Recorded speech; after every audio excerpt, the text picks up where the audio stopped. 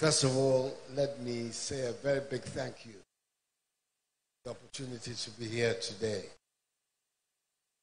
Since I was elected president in Ghana nearly 20 months ago, January, I took office January 2017.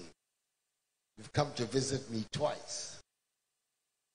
And on the second Because you're a good president. and on the second occasion you invited me to come to this event. Um, I agreed to come for reasons that I think it's important that I put out there. But just let me also say a big hello to the President of Kenya for put, allowing himself and I to share this platform together. Take very strongly the sentiments he expressed. But I think that the reasons why I accepted come and spend the day here, part of the day here, are important to why we this is so significant.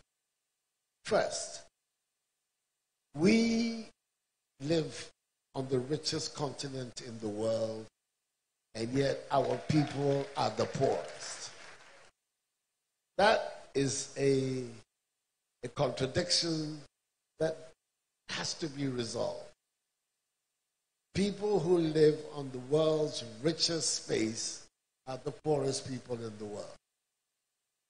The second, look at the history of the other countries and other continents.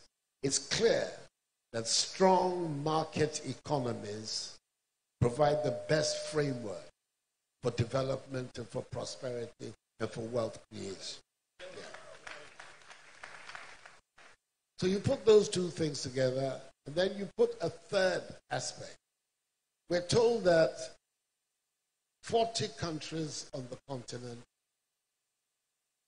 the population of them, more than 50% of 40 countries in Africa, age group below the age of 25.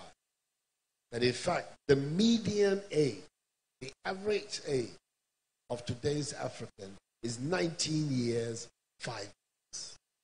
So that's it. It means that all these young people, they are the African people, are young people. So we put all these things together. And what does it mean?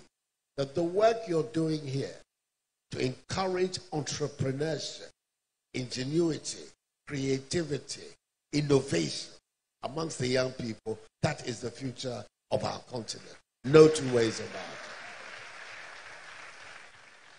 And I felt that with this objective and with these reasons that I have, I thought it would be a good idea to come here to support what you're doing and for the world to see that political leaders of this generation in Africa appreciate the work that you're doing. That's what has brought me here to Lagos today to come and participate in this thing. That it is so key to our future. And I hear you saying it on television all the time. You are our future.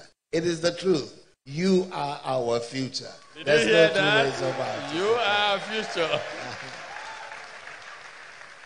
So then comes what governments can do to assist this process. I think the first thing is that they run their countries well. We so called good governance. You run your countries well. You allow the institutions of your country to run efficiently. And the second thing, that you also run your economies well. You have an economy where there's macroeconomic stability, where inflation is low, interest rates are low, where the deficit is under control. Those are the, the, the building blocks for an economy that can grow. So that's our responsibility. Run our countries well and provide a framework for the macroeconomies of our countries to work well.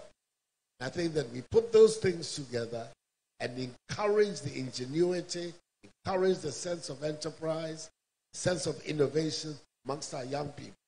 Then we are, as it were, squaring the circle. That's what I'm trying to do in Ghana.